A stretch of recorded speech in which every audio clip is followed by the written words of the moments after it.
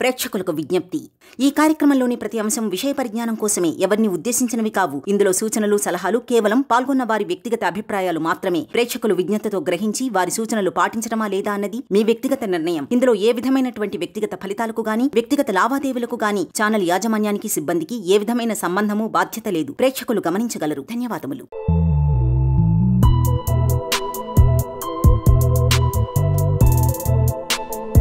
నమస్కారం డాక్టర్ బండి సుస్థిరెడ్డి గారు. నమస్కారం నారాజు గారు. Mind money psychology. సో ఇందులో సార్ హౌస్ హోల్డ్స్కి ఉపయోగపడే విధంగా మీరు ఇంటిని ఏ విధంగా చక్కదిద్ది పెట్టుకుంటే ఆర్థికంగా మనకి ఆ క్రమశిక్షణ అనేది దొరుకుతుంది కలిసి వస్తుందనే విషయాలు చాలా చెప్పడం జరిగింది మీరు గతంలో. అకార్డింగ్ టు వాస్తు కూడా అంటే ఎక్కడెక్కడ ఏ చేంజెస్ చేసుకుంటే బాగుంటుందనేది. మార్పు ఎక్కడి నుంచో కాదు ఇంట్లో నుంచో మొదలైతే అన్నీ బాగా సవ్యంగా జరుగుతాయి. సో ఈ వీడియోలో ఆర్థిక క్రమశిక్షణ కోసం ధనాకర్షణ కోసం ఇంట్లో వాళ్ళకు ఉపయోగపడే విధంగా ఏం చెప్తున్నారు? Shiva Om welcome to my home lucky home. ప్రతి ఇల్లు ధన సమృద్ధితో సిరి సంపదలతో తలతూగాలని ఆ యాగంటి ఉమామేశ్వరుని ప్రార్థిస్తున్నాను. ఇక్కడ ఇల్లు అనగానే ఇది పంచభూతాలతో నిండి ఉంటుంది. ఆ పంచభూతాల్లో ప్రధానంగా నార్త్ వైపు జలం అంటే వాటర్ ఈస్ట్ వైపు ఎయిర్ వాయువు తర్వాత సౌత్ ఈస్ట్ ఆగ్నేయం వైపు వచ్చేసి అక్కడ అగ్ని ఫైర్. సౌత్ వైపు వచ్చేసి అంటే నైరుతి వైపు. నైరుతి అంటే నిరుతి అక్కడ వెయిట్. అక్కడ వచ్చేసి ఎర్త్ భూమి. తర్వాత వెస్ట్ సైడ్ వచ్చేసేసరికి అక్కడ ఆకాశం ఎలిమెంట్ అని అంటే స్పేస్ స్పిరిట్ అని చెప్పుకోవచ్చు. ఈ రకంగా ఇళ్ళు ఈ పంచభూతాలతో పూర్తిగా కవర్ చేయబడింది. ఈ ఫైవ్ ఎలిమెంట్స్లో ఎక్కడ ఏ ఎలిమెంట్ డౌన్లో ఉంటుంది ఎక్కడ ఏ ఎలిమెంట్కు డిఫెక్ట్స్ కానీ బ్లాక్స్ కానీ ఉంటే దానికి త- తగినట్లు ఆ సమస్యలు అనేది రావడం జరుగుతుంది. వెరీ సింపుల్ ఇప్పుడు ప్రతి జబ్బుకు ప్రతి సిమ్టమ్స్ సపరేట్గా ఉంటాయి దాని ట్రీట్మెంట్ సపరేట్గా ఉంటుంది. అన్నిటికీ కామన్గా ఉండదు ట్రీట్మెంట్ అనేది. డాక్టర్ దగ్గరికి వెళ్ళినప్పుడు ఫీవర్ అంటానే అది మలేరియానా టైఫాయిడా డెంగ్యూ ఫీవరా వైరల్ ఫీవరా అని టెస్టులు చేస్తారు. దాన్ని బట్టి ఆ ట్రీట్మెంట్ ప్యాటర్న్ మారిపోతుంది. దాని సివియారిటీ కూడా మారిపోతుంది. టైఫాయిడ్ను వైరల్ ఫీవర్ను తీసుకున్నంతగా మనం డెంగ్యూ ఫీవర్ను తీసుకోవడానికి లేదు. ఎందుకంటే ఇట్స్ ఎ ఫేటల్ ఒక్కొక్కసారి చనిపోయేదానికి ప్రమాదం ఎక్కువగా ఉంది. ఆ రకంగా ఇక్కడ కూడా ప్రతి ఎలిమెంట్కు సంబంధించిన సిమ్టమ్స్ అలాగే ఉంటాయి. ఆ లక్షణాలను బట్టి వాటిని డయాగ్నోస్ చేయడం దాని తర్వాత వాటికి ట్రీట్మెంట్ అంటే దాటికి డిఫెక్ట్ను సరిచేయడము కాబట్టి హౌస్ స్పీక్స్ మన ఉండే ప్లేస్ మనం ఉండే ఇల్లు మాట్లాడుతుంది. వాటిని మనం వినగలగాలి. వాటి యొక్క లక్షణాలు మనం కనుక్కోగలగాలి. కాబట్టి పాత వాళ్ళు చెప్తే చిన్నప్పుడు అందరూ నవ్వుకునేవాళ్ళు. ఎక్కువ చెప్పొద్దు నాలుగు గోడలు ఉన్నాయి వింటున్నాయని. కానీ అది నిజమని ఇప్పుడు అందరూ తెలిసొస్తుంది. ఈ యూనివర్స్ ఈ నేచర్ మనది ప్రతిదీ వింటుంది. కాబట్టి ఇది సైంటిఫికల్గా ప్రూఫ్ చేశారు. కాబట్టి ఇది సైంటిఫికల్గా బొటానికల్ సైంటిస్ట్ ప్రూఫ్ చేశారు. జగదీష్ చంద్రబోస్. ప్లాంట్స్కి కూడా ఫీలింగ్స్ ఉంటాయి. వాటికి కూడా బాధ కలుగుతుంది. అవి రియాక్ట్ అవుతాయి అని చెప్పేసి. కాబట్టి ఒక ప్లాంట్ రియాక్ట్ అవుతుంది అని అంటే మనం ఉన్న ప్లేస్లో కూడా అక్కడ కూడా ఆ నేచర్ కూడా రియాక్ట్ అవుతుంది అని అర్థం. కాబట్టి వాటికి సంబంధించిన సిమ్టమ్స్ వాటికి సంబంధించిన డయాగ్నోసిస్ వాటికి సంబంధించిన ఎలిమెంట్స్ వాటికి సంబంధించిన రెమెడీస్ ఇవి అన్నీ ఫిక్స్గా ఉంటాయి. అందులో ప్రధానంగా ఇవాళ మనం చెప్పుకోబోయేది అర్త్ ఎలిమెంట్. ఎందుకు అర్త్ నుంచే మనం స్టార్ట్ చేయాలని అంటే పంచభూతాల్లో భూమి తత్వం అనేది చాలా ఇంపార్టెంట్. ఎందుకనంటే భూమి మీద ఉన్నప్పుడే కదా మనం అన్నీ చేయగలిగేది. కాబట్టి ఫస్ట్ ఎర్త్ అనేది మోస్ట్ ఇంపార్టెంట్. ఈ ఎర్త్ ఎలిమెంట్ గురించి మనం చెప్పుకోవాలంటే ఎర్త్ అనేది స్టెబిలిటీ ఇస్తుంది. స్టెబిలిటీ అని అంటే భూమి కదలకుండా ఒక చోట ఉంటుంది. ఎర్త్ రొటేట్ అవుతుంది తర్వాత సూర్యుడి చుట్టూ తిరుగుతుంది. కానీ మనకేంటంటే ఇక్కడ మనం నిలబడడానికి ఒక ఆధారాన్ని ఇస్తుంది. దా ఆ స్టెబిలిటీ గురించి మనం మాట్లాడుకుంటాం. Stability rigidity. తర్వాత మనకు ఆ రిజిడిటీ స్టెబిలిటీ ఎంతలా ఉంటుందని అంటే ఈ భూమి మీద ప్రపంచంలో అతి ఎత్తైన బిల్డింగ్. దాదాపు నూట అరవై మూడు అంతస్తులు దాదాపు ఎనిమిది వందల ముప్పై మీటర్లు. అంటే దగ్గర దగ్గర వెయ్యి అయితే ఒక కిలోమీటర్ అవుతుంది. అంత హైట్లో బుర్జ్ ఖలీఫా కట్టగలిగారు. అంటే ఆకాశాన్ని అంటుకునేంత హైట్లో. ఎక్కడ బేస్ చేసి? భూమి మీద. అంటే అంత రిజిడిటీ స్టెబిలిటీ ఇస్తుంది మనకు. అని అంటే ఆ బేస్ ఆ ఫౌండేషన్ అనేది మనకు ఇస్తుంది. అలాగే మన లైఫ్లో కూడా ఈ ఎర్త్ ఎలిమెంట్ అనేది మనకు ఏమిస్తుంది లైఫ్లో అంటే ఒక స్టెబిలిటీ. ఒక ఫిక్స్డ్నెస్ అనేది ఇస్తుంది. కెరీర్ లైఫ్ ఫ్యామిలీలో ఇవన్నీ మనకు ఈ అర్త్ ఎలిమెంట్ అనేది మనకు ఒక గ్రోత్ అనేది ఇస్తుంది. ఈ అర్త్ ఎలిమెంట్ డిస్టర్బెన్స్ అయినప్పుడు వీటన్నిటిలో ప్రాబ్లమ్స్ వస్తాయి. కెరీర్ ప్రాబ్లం వస్తుంది లైఫ్లో ప్రాబ్లమ్స్ వస్తాయి ఫ్యామిలీలో డిస్టర్బెన్సెస్ ఎక్కువ వస్తాయి. ప్లస్ ఫిజుల్ ఖర్చు అంటారు. అనవసరమైన ఖర్చులు వేస్టేజ్ ఆఫ్ మనీ అనేది ఎక్కువగా వస్తుంది. అర్త్ ఎలిమెంట్ డిఫెక్ట్ ఉన్నప్పుడు. వేస్టేజ్ ఆఫ్ మనీ ఎప్పుడు ఉంటుందో కుండకు చిల్లుల మాదిరి ఎప్పుడు వాళ్ళు సంపదను కూడగట్టలేరు. ఎప్పుడైతే సంపద కూడగట్టలేరో వాళ్ళు దరిద్రంతోనే మన అనిగారిపోతారు కాబట్టి ఒకదానికొకటి లింకప్ ఉంటాయి ప్రాబ్లమ్స్ అనేది. ఆ రకంగా ఈ అర్త్ ఎలిమెంట్ గురించి ఈరోజు మనం చెప్పుకోబోతున్నాం.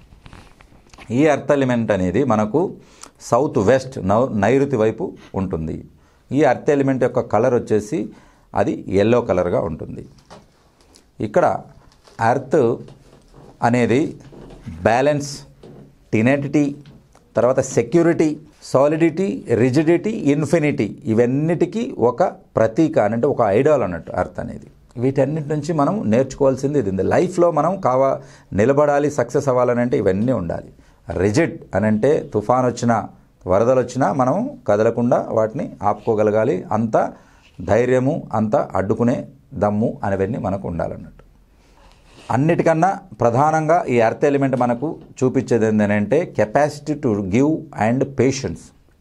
ఎప్పుడైతే పేషెన్స్ విషయం వస్తుందో మీరు బాగా చూసినట్లయితే ప్రపంచంలో అత్యంత ధనవంతులు ఎవరైతే ఉన్నారో కుబేర్లు ఎవరు ఎవరైతే ఉన్నారో వాళ్ళందరికీ పేషెన్స్ అనేది నరనరాన ఉంటుంది. అవును. ఆ పేషెన్స్తోనే ఇప్పుడు ఇవాళ ప్రపంచంలో టాప్ టెన్ కుబేరుల్లో ఉన్న ఇలాన్ మస్క్. పేషెన్స్ ఎలాంటిదనంటే ఆయన తన సంపదంతా డెబ్బై శాతము ఒకటే కంపెనీలో పెట్టాడు. ఏంటి కంపెనీ అది? స్పేస్ ఎక్స్ డెబ్బై శాతం పూర్తిగా పోయింది. మూడు సార్లు ఫెయిల్ అయ్యాడు. ఏంటి ఆయన ఐడియా? ర్యాకెట్ను రీయూజ్ చేయాలి. ర్యాకెట్ జ- జనరల్గా ఏంటి? ర్యాకెట్లు కొన్ని వందల కోట్లు ఖర్చు అవుతుంది ఒక్కసారి వాడితే మనం మళ్ళీ వాడుకోలేదు ఆయన ప్లాన్ ఏంటి? వెహికల్ కదా మనం వాడుకున్నట్టు మళ్ళీ మళ్ళీ పెట్రోల్ పోసుకొని వాడుకోవాలి దాన్ని. ఆ ఐడియా వినడానికి చాలా బాగుంది. కానీ when it come to application practical మనం అంటుంటాం కదా theory is different practical difference అక్కడికి వచ్చేసరికి ఎన్నో సమస్యలు. ఒక ఇంటర్వ్యూలో తను అడిగారు. సరే ఇప్పటికి మీరు వన్ టూ త్రీ కంటిన్యూగా రోలో మూడు ఫెయిల్యూర్స్ వచ్చాయి. It's time to give up అని చెప్పారు. అంటే నువ్వు ఆపాలి ఇంకా ఇన్ని ఎన్ని ఎన్ని నష్టం కంపెనీకి. ఇది ఇంకా మీరు ఆపేస్తున్నారా? మీరు జర్నీ ఇక్కడితో ఆగిపోతుంది అని అంటే నో అంటాడు ఆయన. ఎందుకనంటే ఐ నెవర్ గివ్ అప్ అంటాడు. అని అంటే నేను వదిలేదే లేదు. అది సక్సెస్ అయ్యేంత వరకు నేను వదలను అంటాడు. మిగిలింది థర్టీ పర్సెంటే. ఆ థర్టీ పర్సెంట్ కూడా దాంట్లో పెట్టేశాడు. అంటే లైఫ్ అంతా పెట్టేశాడు. ఫోర్త్ అటెంప్ట్లో సక్సెస్ అయ్యి ఇలా వెళ్ళిన ర్యాకెట్ అలా కిందకి దింపాడు. ఇది ప్రపంచంలో ఎక్కడ జరగలేదు. జర్నీ ఇలా ఉన్నప్పుడు అది అలాగనే కిందికి దింపడం అనేది ప్రపంచంలో ఎక్కడ జరగలేదు. అది ఇలాన్ మస్క్ చేసి చూపించాడు.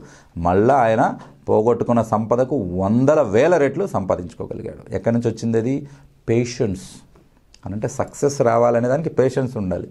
ఈ పేషెన్స్ లేక మనం ఈ పేషెన్స్ మనీ ఎలిమెంట్ డిఫెక్ట్ వస్తే డబ్బు నష్టం అవుతుందని ఎందుకు చెప్పుకున్నాము? పేషెన్స్ ఉండదు. అలా పెట్టంగానే లక్షలు కోట్లు అయిపోవాలి. అలా వెళ్తాడు స్టాక్ మార్కెట్లోకి పది లక్షలు తీసుకుపోతాను రెండు రోజులకి ఇరవై లక్షలు సంపాదించాలి. పేషెన్స్ ఉండదు. ఇరవై లక్షలు కాదు కోటి రూపాయలు కూడా సంపాదించవచ్చు. Fifteen to twenty years wait చేస్తే. కానీ వెయిట్ చేసే పేషెన్స్ ఉందా? లేదు. ఒక అమౌంట్ లక్ష రెండు లక్షలు కావాలని అంటే మన రెగ్యులర్ బ్యాంక్స్లో సెవెన్ టు ఎయిట్ ఇయర్స్ పడుతుంది. అదే మనం పోస్ట్ ఆఫీస్ లాంటి వచ్చిన అమౌంట్ దానికే ఇన్వెస్ట్ మల్ ఇన్- ఇంట్రెస్ట్ రీఇన్వెస్ట్మెంట్ ఆ రకంగా ఆ ప్లాన్లో వెళ్తే మినిమం ఫోర్ ఇయర్స్ అలా పడుతుంది. కానీ బయట కొన్ని బ్యాంక్స్ కొన్ని సొసైటీలు ఆకర్షిస్తాయి. రెండేళ్ళకే డబల్ చేస్తాం మూడేళ్ళకే డబల్ చేస్తాం. వాళ్ళకి అట్రాక్ట్ అయిపోయి అక్కడ పెట్టేస్తారు. ఎందుకనంటే త్రీ ఇయర్స్ వెయిట్ చేసిన వాడు ఇంకో టూ ఇయర్స్ వెయిట్ చేయలేడా? ఫైవ్ ఇయర్స్ డబుల్ అవుతుంది కదా. వెయిట్ చేయాలి. ఆ పేషెన్స్ లేనందుకు చూడండి ఇది సైంటిఫికల్గా ఎలా ప్రూవ్ అనంటే అక్కడ ఏం చెప్తున్నాం మనము వేదిక మహావాస్తులో? అర్త్ ఎలిమెంట్ సరిగా లేకపోతే మనీ వేస్ట్ అవుతుంది. ఎందుకంటే పేషెన్స్ ఉండదు. పేషెన్స్ లేనందుకు ఏం చేస్తాడు? తొందరపడతాడు. "ఆ, ఇక్కడ వస్తుంది. ఎవరో ఫ్రెండ్ చెప్పాడు. పక్కింటి ఆయన చెప్పాడు. అలాగ చెప్పేస్తారు డబ్బులు పెట్టేస్తారు. ఎగ్జాక్ట్గా నా క్లయింట్ గుంటూరు నుంచి వచ్చాడు. మూడు కోట్లు మూడు కోట్లు ఒకటి కాదు రెండు కాదు. డబ్బులు స్టాక్ మార్కెట్లో ఇలా పోసేశారు ఇలా పోసేశారు. నీకేం తెలుసా? అసలు స్టాక్ మార్కెట్ అంటే తెలుసా? తెలియదు సార్. డబ్బులు ఎలా వస్తాయో తెలియదు సార్. ఎవరు మేనేజ్ చేస్తారో ఫ్రెండ్ చెప్పాడు. ఎవరు పెట్టమన్నారు అదో నలుగురు ఫ్రెండ్స్ ఉన్నారు సార్. నలుగురు పెడుతున్నారు అందుకు నేను పెట్టా. ఎందుకు నువ్వు పెట్టావనంటే నాకు దగ్గర దగ్గర కోటిన్నర అప్పులు ఉన్నాయి సార్. మూడు కోట్లు పెడితే ఆరు కోట్లు వస్తాయన్నారు. అప్పులన్నీ తీరిపోతాయి. ఆ మూడు కోట్లు పెట్టే బదులు కోటిన్నర అప్పు తీరిస్తే కోటిన్నర నీ దగ్గర మిగులుతుంది. నా నేను best of the best plan ఇస్తే నీకు నాలుగేళ్ళలోనే పది కోట్లు చేసే ప్లాన్ నేను ఇవ్వగలుగుతా. కోటిన్నర పెట్టుబడితో. మరి అలా చేయొచ్చు కదా అంటే ఆ, పేషెన్స్ లేదు. ల్యాక్ ఆఫ్ పేషెన్స్ కాబట్టి సైంటిఫికల్గా ఎలా ప్రూవ్ అవుతుంది ఇలా వాస్తవం అంటే ఈ రకంగా పేషెన్స్ అనేది క్రియేట్ ఉండలేడు ఒక చోట. ఆలోచన అనేది కుదురుగా రాదు. ఆ ఫిక్స్డ్ పేషెన్స్ లేనప్పుడు ఈ రకంగా డబ్బు నష్టపోవడం అనేది జరుగుతుంది. ఎప్పుడైతే పేషెన్స్ లేదో ఎందుకు ఫ్యామిలీలో ప్రాబ్లమ్స్ వస్తాయని చెప్పాను పేషెన్స్ లేనప్పుడు చిన్న మాట అన్నా కూడా గొడవపడేస్తాడు ఫ్యామిలీ మీద ఇరిటేషన్ వచ్చేస్తుంది. కాబట్టి భార్యాభర్త అంటేనే ఒకరి ప్రాబ్లమ్స్ ఒకరు అర్థం చేసుకొని ఒకరి తప్పులు ఒకరి మీద వేసుకొని జరగాల్సిన కాపురం ఉంటుంది. అది రివర్స్లో వెళ్ళిపోతుంది. కాబట్టి వాడి తప్పున్నా ఎదుటోళ్ళ మీద వేసేస్తాడు వాడి ఫెయిల్యూర్ను ఇంకొకరి మీద రుద్దుతాడు. కాబట్టి ఈ రకంగా ఫైనల్గా ఫ్యామిలీ సరిగా లేదు సార్ లేకపోతే నేను కోట్లు సంపాదిస్తుంటే అంటాడు. ఫ్యామిలీ కాదు నువ్వు సరిగా లేవు నువ్వు ముందు మారాలి. తర్వాత ఫ్యామిలీ ఆటోమేటిక్గా మారుతుంది. నీ ప్రవర్తన మారాలి నీ క్యా క్యారెక్టర్ మారాలి నీలో పేషెన్స్ రావాలి. ఏం చేస్తున్నాము అందుకే నేను ఎప్పుడైనా చెప్పినప్పుడు వీడియోలో చాలా సరికి ఒక ఫైవ్ మినిట్స్ ఆగి చెప్పండి. త్రీ మినిట్స్ అన్నా మీరు ఆగి చెప్పండి మాట చెప్పే ముందు. మీకు అర్థమవుతుంది. అంటే కాన్షియస్గా వస్తారు మీరు. ఈ రకంగా ఆ పీస్ ఆ మాట్లాడే పేషెన్స్ రావాలని అంటే మీరు పవర్ మెడిటేషన్ చేయాలి.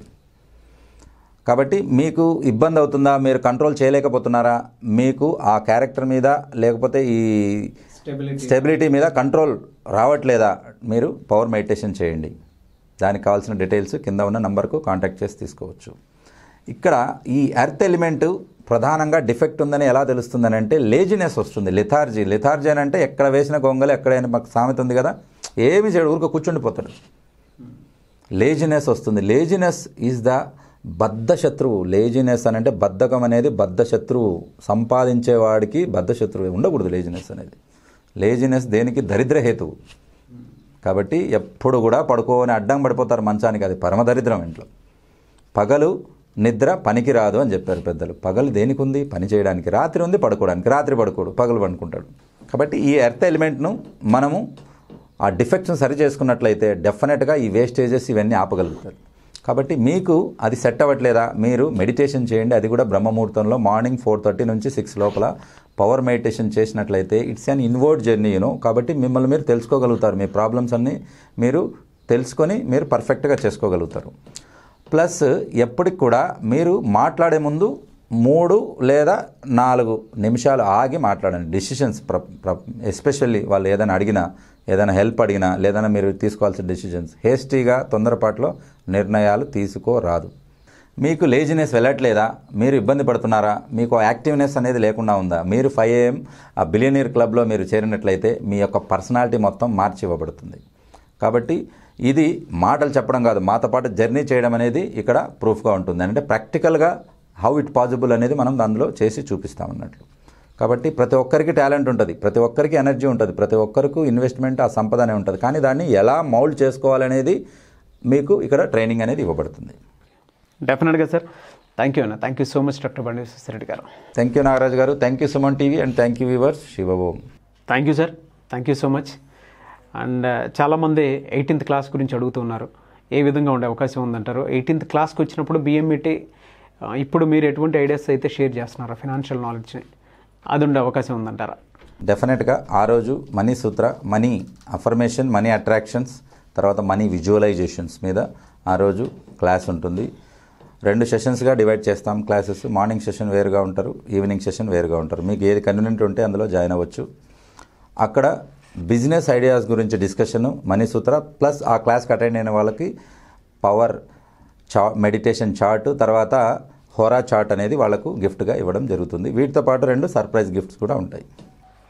డెఫినెట్గా సార్ థ్యాంక్ యూ అండి. Thank you so much doctor Bandi Vishwareddy garu. Thank you Nagaraju garu. Thank you Suman TV and thank you viewers చూశారు కదన్న వీడియో? ఈ వీడియోపై మీ అభిప్రాయాన్ని కామెంట్ రూపంలో తెలియజేయండి. అండ్ బిఎంఈటీ లో మీరు జాయిన్ అవ్వాలి అనుకుంటే స్క్రీన్ మీద కనిపిస్తున్నటువంటి నెంబర్కి వెంటనే సంప్రదించండి. అండ్ ఎయిటీన్త్న క్లాస్ అయితే ఉంటుంది. Money sutra class. సో అందులో money visualization money attraction money affirmations and money మెడిటేషన్కి సంబంధించినటువంటి నాలెడ్జ్ అయితే ఖచ్చితంగా ఉంటుంది. దాంతోపాటు బిఎంఈటీ మీద ఎవరెవరైతే డైరెక్ట్ జాయిన్ అవ్వాలనుకుంటున్నారో సో వాళ్ళు ఇక్కడ స్క్రోల్ అవుతున్నటువంటి కాంటాక్ట్ నెంబర్కి కాల్ చేస్తే అడ్రస్ మీకు వాట్సాప్ చేస్తారు. లేదంటే కింద డిస్క్రిప్షన్లో లింక్ ఉంటుంది. టెలిగ్రామ్ లింక్ సో అందులో టెలిగ్రామ్లో కనుక మీరు యాడ్ అయ్యారనుకోండి అడ్రస్ ఖచ్చితంగా సెండ్ చేస్తారు. ఇంట్రెస్టెడ్ పీపుల్ ఉంటే వెంటనే స్క్రీన్ మీద కనిపిస్తున్న నెంబర్కి సంప్రదించవచ్చు. ఈ వీడియో లైక్ చేయండి షేర్ మాత్రం తప్పకుండా చేయండి. ఇలాంటి మరిన్ని వీడియోస్ కోసం మా ఛానల్ ఫాలో అవ్వండి. Thank you